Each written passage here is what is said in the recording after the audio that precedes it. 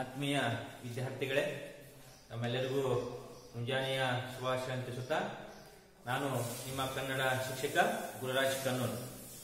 ವಿದ್ಯಾರ್ಥಿಗಳೇ, ಕಳೆದ ಒಂದು ಅವಧಿಯಲ್ಲಿ ತಲಕಾಡಿನ ವೈಭವದ ಒಂದು ಕುರಿತಾಗಿ ಹಿರೇಮಲ್ಲೂರು ಈಶ್ವರನವರು ಬರೆದಿರ್ತಕ್ಕಂತಹ ಈ ಒಂದು ಪ್ರವಾಸ ಕಥನದ ಬಗ್ಗೆ ತಿಳಿದುಕೊಂಡಿದ್ದೆವು ವಿದ್ಯಾರ್ಥಿಗಳೇ, ಪ್ರವಾಸ ಕಥನ ಲೋಕಾನುಭವವನ್ನ ಪಡೆಯುವಂಥದ್ದು.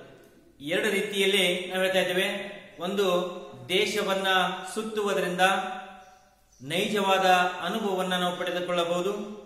ಇನ್ನೊಂದು, ಪುಸ್ತಕದ ಓದುವುದರಿಂದ ನಾವು ಜ್ಞಾನವನ್ನ ಪಡೆದುಕೊಳ್ಳಬಹುದು. ಇಲ್ಲಿ ಹಿರೇಮಲ್ಲೂರು ಈಶ್ವರನ್ರವರು ಪ್ರವಾಸವನ್ನ ಕೈಗೊಂಡಿರ್ತಕ್ಕಂಥ ಸಂದರ್ಭದಲ್ಲಿ ಅವರಿಗಾಗಿರ್ತಕ್ಕಂತಹ ಅನುಭವಗಳನ್ನ, ನೋಡಿದ ದೃಶ್ಯಗಳನ್ನ, ಘಟನೆಗಳನ್ನ ಬರಹ ರೂಪದಲ್ಲಿ ಅಭಿವ್ಯಕ್ತಗೊಳಿಸಿದ್ದೇ. ಇದು ಪ್ರವಾಸ ಕಥನ ಅಂತ ನಾವು ಹೇಳ್ತಾ ಇದ್ದೇವೆ. ಇಲ್ಲಿ ನಿನ್ನೆ ದಿವಸ ನೋಡಿದೀವಿ ಅಲ್ಲಿ ಹಿರೇಮಲ್ಲೂರು ಈಶ್ವರನ್ರವರು ಆ ಒಂದು ಎಲ್ಲಿಗೆ ಬಂದಿದ್ರು? ಎಷ್ಟೇ ಇಸುವಿಯಲ್ಲಿ ಕೂಡ ಏನಪ್ಪಾ ಅಂತಂದ್ರೆ ಅವರು ಪ್ರವಾಸವನ್ನ ಕೈಗೊಂಡಿದ್ರು. ಯಾವ ಸಮಯದಲ್ಲಿ ಅವರು ಆ ಒಂದು ಪ್ರವಾಸವನ್ನ, ಕಥನವನ್ನ ಬರೀಲಿಕ್ಕೆ ಶುರು ಮಾಡಿದ್ರು ಅಂತಕ್ಕಂಥದ್ದು ಕೂಡ ನೋಡಿದೀವಿ ಸ್ವಲ್ಪ ಹಿಂದಿನದನ್ನ ಮೆಲುಕು ಹಾಕಿಕೊಂಡು ಮುಂದಿನ ಭಾಗಕ್ಕೆ ಬರೋಣ. ಹತ್ತೊಂಬತ್ ನೂರ ಐವತ್ತನೆಯ ಇಸ್ವಿ ಅಕ್ಟೋಬರ್ ತಿಂಗಳು ಮಂಗಳವಾರ ಇಪ್ಪತ್ತನೆಯ ತಾರೀಕು. ಶಿವನ ಸಮುದ್ರದ ಪ್ರವಾಸಿಗರ ನೀಲ್ಮನೆಯಲ್ಲಿ ಕುಳಿತುಕೊಂಡು ಈ ದಿನದ ಪಯಣದ ವಿವರವನ್ನ ಬರೆಯುತ್ತಿದ್ದೇನೆ. ಈಗ ರಾತ್ರಿ ಹನ್ನೆರಡು ಹೊಡೆದು ಹದಿನೈದು ನಿಮಿಷವಾಗಿದೆ. ಸುತ್ತಣ ಲೋಕವೆಲ್ಲ ಮಲಗಿಕೊಂಡಿದೆ. ನನ್ನ ಬಳಿ ಈ ತಂಗು ಮನೆಯಲ್ಲೇ ನನ್ನ ಗೆಳೆಯರು. ಕನ್ನಡದ ಯಾತ್ರಿಕರು ಮಲಗಿಕೊಂಡಿದ್ದಾರೆ. ಇಂದು ದಿನವೆಲ್ಲ ಅಲೆದು ಅಲೆದು ಅವರು ದಣಿದು ನಿದ್ರೆ ಹೋಗಿದ್ದಾರೆ. ಶಿವನ ಸಮುದ್ರವನ್ನ ಒಳ ಸೇರುವ ಮುನ್ನ ಬಾಗಿಲ ಬಳಿ ನಿಂತ ಸುಬ್ರಹ್ಮಣ್ಯ ನಮ್ಮನ್ನು ವಿಶ್ವಾಸದಿಂದ ಸ್ವಾಗತಿಸಿದರು. ನೀಲ್ಮನೆಯನ್ನು ಕೂಡಲೇ ಖಾಲಿ ಮಾಡಿಸಿದರು. ಹಾಸಿಗೆ ಹಾಸಿಕೊಟ್ಟರು. ಊಟ ಉಪಚಾರದ ಬಗೆಗೆ ಕೇಳಿದರು. ಕೊನೆಗೆ ಹೋಗುವಾಗ ಗುಡ್ ನೈಟ್ ಎಂದು ಹೇಳಿದರು. ಸುಬ್ರಹ್ಮಣ್ಯಂ, ನೌಕರನೇನೋ ಹೌದು, ಆದರೆ ಅವರಿತ್ತ ಸ್ವಾಗತ, ವಿಶ್ವಾಸದ ನುಡಿ ನೆನೆದರೆ ನಾವು ಸುಬ್ರಹ್ಮಣ್ಯಗಿಂತ ಸಣ್ಣವರು ಎನ್ನುವಲ್ಲಿ ಸಂದೇಹವಿಲ್ಲ.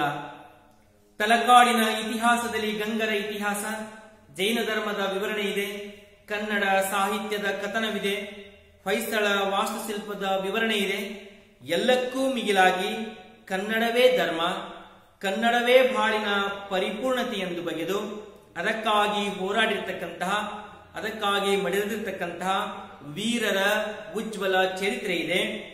ಗಂಗರ ರಾಜ್ಯ ಗಂಗವಾಡಿ ಎಂದು ಹೆಸರಾಗಿದೆ. ಅವರ ಮೊದಲ ರಾಜಧಾನಿ ಕೋಲಾರ. ಸುಮಾರು ಕ್ರಿಸ್ತಿಕ ಐದು ನೂರರ ಹೊತ್ತಿಗೆ ಕೋಲಾರದಿಂದ ಹರಿವರ್ಮ ರಾಜಧಾನಿಯನ್ನು ತಲಕಾಡಿಗೆ ತಂದನು.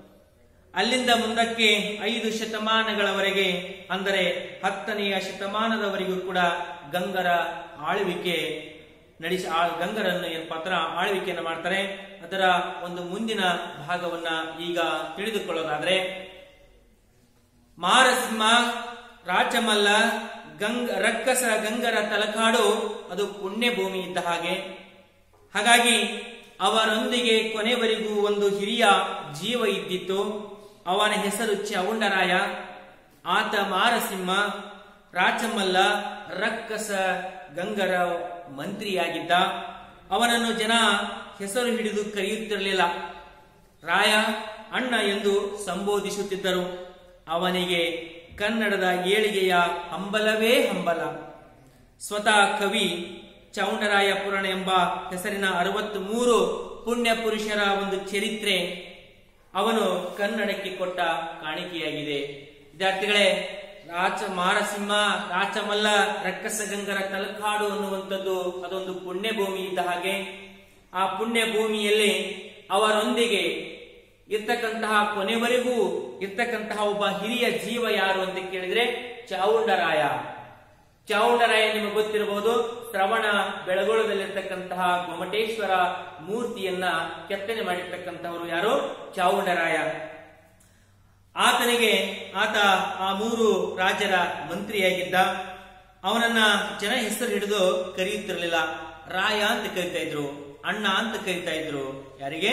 ಚೌಂಡರಾಯನಿಗೆ ಅವನಿಗೆ ಕನ್ನಡದ ಒಂದು ಬೆಳವಣಿಗೆಗೆ, ಏಳಿಗೆಗೆ ಬಹಳಷ್ಟು ಆತುರದಲ್ಲಿದ್ದ, ಆತುರವಿತ್ತು.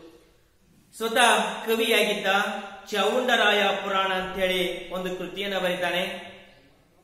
ಅರವತ್ತ್ ಮೂರು ಪುಣ್ಯ ಪುರುಷರ ಚರಿತ್ರೆಯನ್ನು ಒಳಗೊಂಡಿರ್ತಕ್ಕಂತಹ ಆ ಚಾವುಂಡರಾಯ ಪುರಾಣವನ್ನು ಬರೀತಾನೆ. ಅವನು ಕನ್ನಡಕ್ಕೆ ಕೊಟ್ಟಿರ್ತಕ್ಕಂತಹ ಒಂದು ಬಹುದೊಡ್ಡ ಕಾಣಿಕೆ ಅಂತ ನಾವು ಹೇಳ್ತಾ ಇದ್ದೇವೆ. ಯಾವುದ್ರಿ? ಚೌಂಡರಾಯ ಪುರಾಣ. ಹತ್ತನೆಯ ಶತಮಾನದ ಕೊನೆಯ ಭಾಗದಲ್ಲಿ ಮುದುವೊಳಲ್ನಿಂದ ತಂದಿ ತಾಯಿಯವರಿಗೆ ಹೇಳದೆ ಬಳೆ ಮಾರುವ ಉದ್ಯಮವನ್ನ ಕೃಷ್ಣಾ ತೀರದ ಮೊಳಲಿನಲ್ಲಿ ಮುಚ್ಚಿಟ್ಟು ತಲಕಾಡಿಗೆ ರನ್ನ ಓಡಿ ಬಂದನು. ಏನು ನಂಬಿ ಬಂದ? ತಲಕಾಡಿನ ಮಣ್ಣನ್ನು. ಇಲ್ಲಿ ರಾಯನಿದ್ದಾನೆ, ಅತ್ತಿ ಮಬ್ಬೆ ಇದ್ದಾಳೆ, ಅಜಿತ ಸೇನಾ ಗುರುಗಳ ಶಿಷ್ಯರುಂದವಿದೆ, ಅದು ಕಲಾಶ್ರೀ ವಿಹರಿಸುವ ನಂದನವನ ಇದೆ. ನೋಡ್ರಿ, ವಿದ್ಯಾರ್ಥಿಗಳೇ, ಹತ್ತನೆಯ ಶತಮಾನದ ಕೊನೆಯ ಭಾಗದಲ್ಲಿ ಮುದುವೋಳ್ ಮುದುವಳ ಅಂದ್ರೆ ಈಗಿನ ಮುದೋಳ. ಆ ಮುದೋಳದಲ್ಲಿ ಜನಿಸಿರ್ತಕ್ಕಂತಹ ಈ ಕವಿ ಚಕ್ರವರ್ತಿ ಎನಿಸಿಕೊಂಡಿರ್ತಕ್ಕಂತಹ ರನ್ನನ ತವರೂರು ಮುದುಗೋಳ ಈಗಿನ ಮುದೋಳ. ಆ ಮುದೋಳದಿಂದ ತಂದೆ ತಾಯಿಗೆ ಹೇಳದೆ ತನ್ನ ವೃತ್ತಿಯನ್ನ ಬಿಟ್ಟು, ಅಂದ್ರೆ ಬಳೆ ಮಾರುವ ವೃತ್ತಿ ಇತ್ತು. ಹಾಗಾಗಿ ಆ ಕೃಷ್ಣಾ ತೀರದಲ್ಲಿ ಅದನ್ನ ಮುಚ್ಚಿಟ್ಟು ತಲಕಾಡಿಗೆ ಓಡಿ ಬಂದ. ತಲಕಾಡಿಗೆ ಓಡಿ ಬಂದ, ಯಾರನ್ನ ನಂಬಿ ಬಂದ, ಏನು ನಂಬಿ ಬಂದ? ಅಲ್ಲಿ ತಲಕಾಡಿನ ಮಣ್ಣಿದೆ. ಅತ್ತಿ ಮಬ್ಬೆ ಇದ್ದಾಳೆ. ಅಲ್ಲಿ ಚಾವುಂಡರಾಯ ಇದ್ದಾನೆ. ಅಜಿತ ಸೇನ ಗುರುಗಳ ಒಂದು ಶಿಷ್ಯ ವೃಂದವಿದೆ. ಅದು ಕಲಾಶ್ರೀ ವಿಹರಿಸುವ ನಂದನವನ ಇದೆ.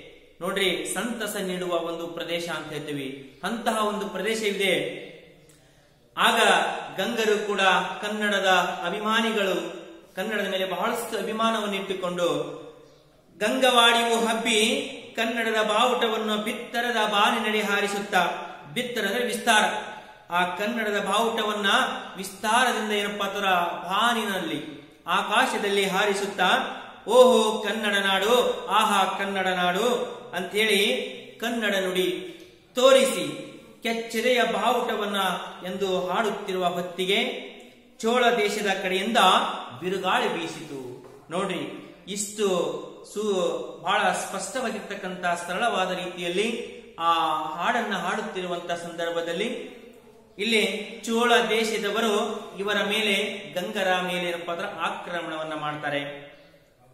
ಅಂದ್ರೆ ಆ ಚೋಳ ದೇಶದ ಕಡೆಯಿಂದ ಬಿರುಗಾಳಿ ಬೀಸಿತು ಅಂತಂದ್ರೆ ಈ ಗಂಗರ ಇರ್ತಕ್ಕಂತಹ ಪ್ರದೇಶದ ಮೇಲೆ ಆ ಚೋಳ ದೇಶದವರು ಆಕ್ರಮಣ ಮಾಡ್ತಾರೆ. ನಾವು ಕೇಳಿದಿವಿ, ನಮ್ಮ ಭಾರತೀಯರ ರಾಜರ ಒಂದು ಇತಿಹಾಸವನ್ನ ಕೇಳಿದಿವಿ. ಬೇರೆ ರಾಜ್ಯದವರು ಕೂಡ ಬಂದು ನಮ್ಮ ದೇಶದ ಮೇಲೆ ಸಾಕಷ್ಟು ವಿನಾಶಿಕ ಕಾರ್ಯಗಳನ್ನು ಮಾಡಿದ್ದಾರೆ. ಆದ್ರೆ ಇಲ್ಲಿ ಚೋಳ ದೇಶದವರು ಬಂದು ಏನು ಮಾಡಿದ್ರು ಅಂತಕ್ಕಂಥದ್ದು ಕೂಡ ತಿಳಿದುಕೊಳ್ಳೋಣ. ಚೋಳರು ಎಲ್ಲಿಗೆ? ಈ ಗಂಗರ ಒಂದು ಪ್ರದೇಶಕ್ಕೆ ಬಂದ್ರು. ಗುಡಿ ಗೋಪುರಗಳನ್ನ ಕಟ್ಟಿದ್ರು. ಬಂದ್ರು, ತಮ್ಮದೇ ಆಗಿರ್ತಕ್ಕಂತಹ ಗುಡಿ ಗೋಪುರಗಳನ್ನ ಕಟ್ಟಿದ್ರು. ಅಂತಹ ಪ್ರಮುಖವಾಗಿರ್ತಕ್ಕಂತಹ ಗುಡಿ ಗೋಪುರಗಳು ಯಾವ ಅಂತ ಕೇಳಿದ್ರೆ ರಾಜೇಶ್ವರ, ವೈಕುಂಠ ನಾರಾಯಣ, ಮರಳೇಶ್ವರ, ಪಾತಾಳೇಶ್ವರ, ವೈದೇಶ್ವರ ಎಂಬ ಗುಡಿಗಳನ್ನ ಕಟ್ಟಿಸಿದರು. ಸಾವಿರದ ಹನ್ನೊಂದೂರ ಒಂದ್ ಸಾವಿರದ ಒಂದೂರ ಹದಿನಾರರಲ್ಲಿ ವಿಷ್ಣುವರ್ಧನ ದೊರೆಯ ಆಳ್ವಿಕೆ ಪ್ರಾರಂಭವಾಯಿತು. ನೋಡ್ರಿ, ಚೋಳ, ಆ ಚೋಳರ ಪ್ರಸಿದ್ಧ ಅರಸರಾಗಿರ್ತಕ್ಕಂಥ ವಿಷ್ಣುವರ್ಧನನ ಒಂದು ಆಳ್ವಿಕೆ ಪ್ರಾರಂಭವಾಯಿತು. ವಿಷ್ಣುವರ್ಧನನ ದೊರೆಯ ಒಂದು ಕಾರ್ಯವನ್ನ ಕೇಳುತ್ತೀರಾ?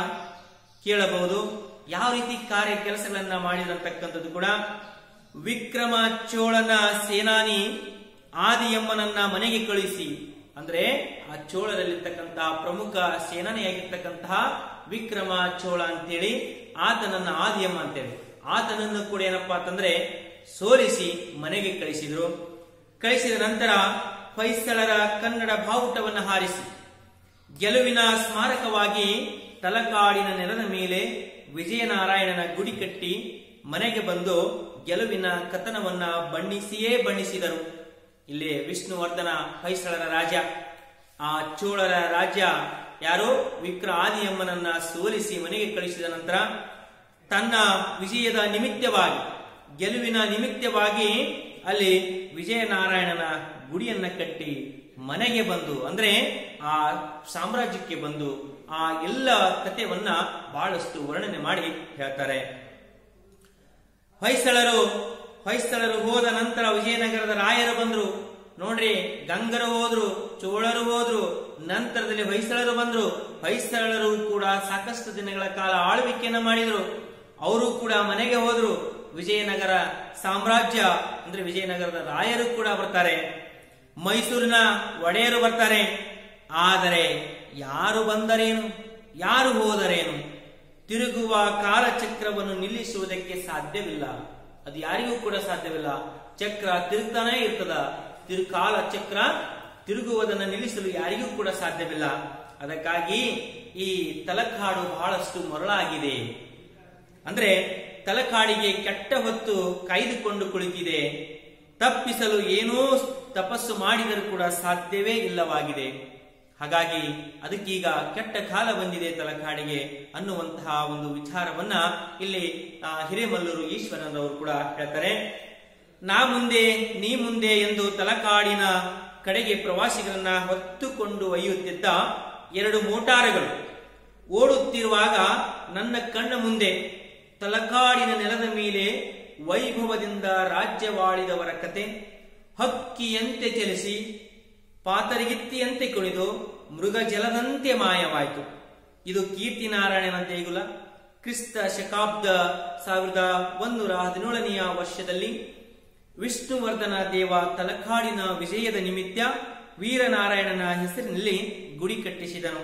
ನೋಡ್ರಿ, ಆ ಈಶ್ವರನ್ ಹಿರೇಮಲ್ಲೂರು ಈಶ್ವರನವರು ಪ್ರವಾಸಕ್ಕೆ ಹೋಗುವಂತ ಸಂದರ್ಭದಲ್ಲಿ ಎರಡು ಮೋಟಾರ್ಗಳು, ನಾ ಮುಂದೆ, ನೀ ಮುಂದೆ ಎನ್ನುವಂತಹ ರೀತಿಯಲ್ಲಿ ಹೋಗ್ತಾ ಇದ್ದು, ಹೋಗುವಂತಹ ಸಂದರ್ಭದಲ್ಲಿ ಇವರಿಗೆ ಕಣ್ಣು ಮುಂದೆ ಆ ತಲಕಾಡಿನ ಕತೆ, ವೈಭವ ಎಲ್ಲವೂ ಕೂಡ ಕಣ್ಣು ಮುಂದೆ ಬಂತು. ಯಾವ ರೀತಿ ಬಂತು ಅಂತ ಕೇಳಿದ್ರೆ, ಇಲ್ಲಿ ನೋಡಿ, ಹಕ್ಕಿಯಂತೆ ಚಲಿಸಿ, ಆ ಪಾತರಿಗಿತ್ತಿಯಂತೆ ಕುಣಿದು ಮೃಗಜಲ. ಮೃಗಜಲ ಅಂತಂದ್ರೆ ನೀರ ಕಾಣ್ತೈತಿ ಕಣ್ಣಿಗೆ ಕಾಣ್ತೈತಿ, ಆದ್ರೆ ಸಮೀಪ ಹೋದ್ರೆ ಅದು ಸಿಗೋದಿಲ್ಲ. ಆ ರೀತಿಯಾಗಿ ಮೃಗಜಲದಂತೆ ಮಾಯವಾಯಿತು ಅನ್ನುವಂತಹ ವಿಚಾರವನ್ನ ಇಲ್ಲಿ ಹಿರೇಮಲ್ಲೂರು ಈಶ್ವರನವರು ಹೇಳ್ತಾರೆ. ಇದು ಕೀರ್ತಿ ನಾರಾಯಣನ ದೇಗುಲ ಅವರು ಮುಟ್ಟಿರುವಂತಹ ಸಂದರ್ಭದಲ್ಲಿ.